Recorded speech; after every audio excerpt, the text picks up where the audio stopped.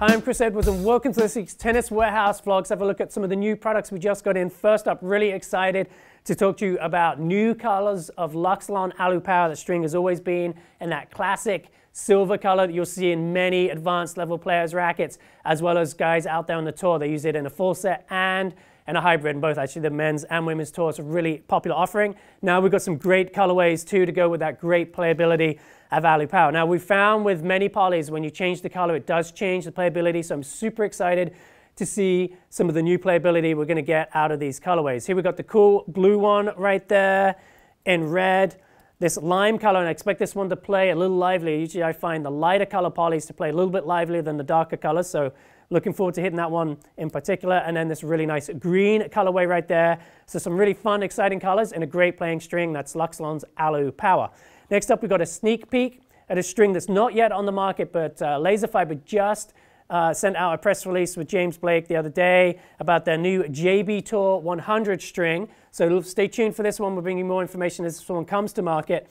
Uh, it's made in the USA. It's a collab between Laserfibre and James Blake. So they worked on this string, really developed it, and obviously James Blake, really fun player to watch, big hitting, very flamboyant player, and uh, we've been playtesting this string as well. So I don't want to give away too much on what we think of it, but uh, we've been enjoying it. And uh, look for our review when this one comes to market. And uh, really exciting and exciting stuff coming out of Laserfibre right now with their Made in the USA polys. Next up, let's look at some uh, rackets right now in our vintage Bosworth collection. This is one of Mark Philippoussis' old rackets. This one features uh, the flipper decal on the side here and also at the throat, but otherwise it's a blacked out Prestige Classic uh, in the mid head size right here. A ton of lead tape treatment on this one. This racket is weighted up. It's an absolute beast. Let's have a look at the specs.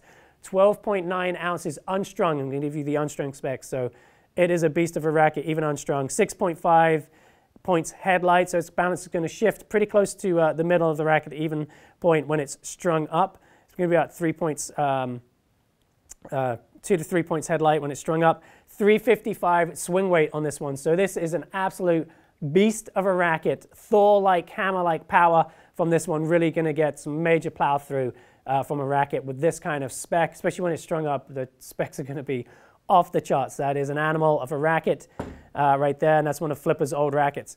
Uh, let's have a look at a new uh, offering in the Bosworth collection right now. This is the Gamma Tradition 2.0. This is an extended length 95 square inch racket. It's got the crossbar stabilizer right there. And this one comes in at 27.8 inches in length. Um, it's got a big headlight balance, 14 points headlight when it's unstrung, 72 RA, so it's very uh, crisp playing. Racket's going to drop down to about a 70 RA when it's strung up. 296 swing weight, so pretty maneuverable. Um, but obviously, when you're going to put that weight, when it's going to be a long way from the handle, it's going to really bump up the swing weight on this one. And it's got a 16, 18 string pattern. Um, I've not hit this racket, but I'm imagining it's going to be a great serving racket. You've got that longer length for the leverage and the pop.